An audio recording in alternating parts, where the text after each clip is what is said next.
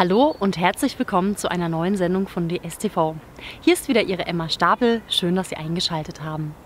Das Bundeskabinett hat ein Paket zur Asylpolitik beschlossen, das dem Bundestag und dem Bundesrat demnächst vorgelegt werden soll.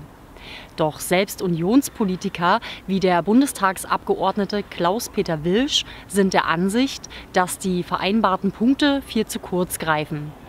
Im Gegensatz dazu hat der Parteivorstand der NPD kürzlich einen neuen Punkteplan zur Abwehr der Asylflut beschlossen. Mein Gast heute ist Arne Schimmer, Mitglied des NPD-Parteivorstandes, der federführend an der Ausarbeitung des Papiers beteiligt war. Wir haben uns die neuen Punkte der NPD einmal angesehen und Arne Schimmer um eine kurze Erläuterung gebeten. Über Deutschland schwappt eine Zuwanderungswelle bislang unbekannten Ausmaßes. Wird diese Welle nicht gestoppt, droht unser Land in der Asylflut zu versinken. Damit dies nicht geschieht, sind nach Ansicht der NPD folgende Maßnahmen zwingend erforderlich. Erstens, alle EU-Anwärterstaaten müssen zu sicheren Herkunftsstaaten erklärt werden. Die sogenannte Westbalkanroute hat sich als Haupteinfallstor der Massenzuwanderung entpuppt. Wer jedoch die Aufnahme in die EU verlangt, darf sich nicht länger wie ein Schleuserstaat verhalten sondern ist aufgefordert, die Grenzen zu verteidigen. Zweitens. Zuflucht für tatsächlich politisch Verfolgte ja, aber nur zeitlich begrenzt, als Einzelfallentscheidung und mit Rückführungsvereinbarung.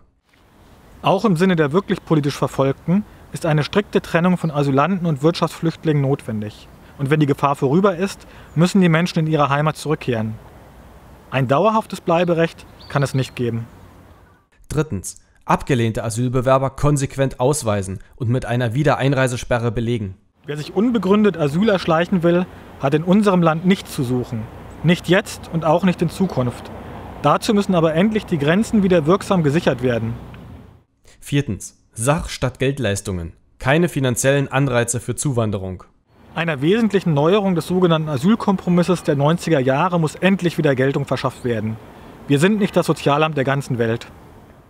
Fünftens. Residenzpflicht durchsetzen, Sicherheit schaffen. Die Residenzpflicht und Regelunterbringung in Gemeinschaftsunterkünften sind für eine bessere Kontrolle während des Asylverfahrens unabdingbar. Straffällig gewordene Asylbewerber müssen rasch identifiziert werden können und haben unser Land zu verlassen. Sechstens. Drittstaatenregelungen anwenden. Ohne konsequente Umsetzung des sogenannten Dublin-Verfahrens wird Deutschland weiterhin Hauptzielland des Asylbewerberzustroms bleiben. Wer über einen sicheren Drittstaat kommt, dem ist nach 18 Absatz 2 Nummer 1 Asylverfahrensgesetz die Einreise zu verweigern. Siebtens. Registrierungszentren in Nordafrika, der Türkei und den Balkanstaaten schaffen, um die Weiterreise chancenloser Asylbewerber zu verhindern. Nur durch die Schaffung außereuropäischer Zentren zur Prüfung der Asylberechtigung kann dem Massenzustrom illegaler Einwanderer nach Europa entgegengewirkt werden. Wir müssen die Welle stoppen, bevor sie Deutschland erreicht. Achtens. Artikel 16a Absatz 1 Grundgesetz Politisch Verfolgte genießen Asylrecht wird umgewandelt in Die Bundesrepublik Deutschland gewährt Asyl. Das Nähere regelt ein Bundesgesetz. Theoretisch können sich mittlerweile mehrere hundert Millionen Menschen auf das deutsche Asylrecht berufen. Ein Umstand, den die Väter des Grundgesetzes nicht erahnen konnten. Das individuelle, einklagbare Grundrecht auf Asyl muss daher durch eine einfach gesetzliche Regelung ersetzt werden, es der CDU-Innenpolitiker Wolfgang Bosbach schon im Jahr 2000 vorgeschlagen hat. Neuntens. Destabilisierung des Nahen Ostens stoppen. Flüchtlingshilfe vor Ort. Der massive Flüchtlingsstrom wurde durch die Zerstörung einstmals funktionsfähiger Staaten wie Syrien, dem Irak und Libyen durch militärische Interventionen des Westens ausgelöst. Wir müssen die syrische Regierung in ihrem Kampf gegen den IS-Terror unterstützen und ihr dabei helfen, Flüchtlingslager in der Nähe der Herkunftsregionen aufzubauen, statt Konflikte nach Deutschland zu importieren. Lieber Arne, vielen Dank für die Kommentierung des neuen Punkteplans, dessen Lösungsansätze mir doch wesentlich hilfreicher erscheinen als alles, was derzeit von der etablierten Politik kommt. Vielen Dank für die Einladung zu die STV. Ein wirklich unterstützenswertes Projekt.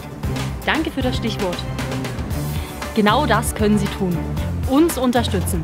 Entweder mit einem Abo der Deutschen Stimme oder einer Spende an die am Ende eingeblendete Bankverbindung. Machen Sie es gut.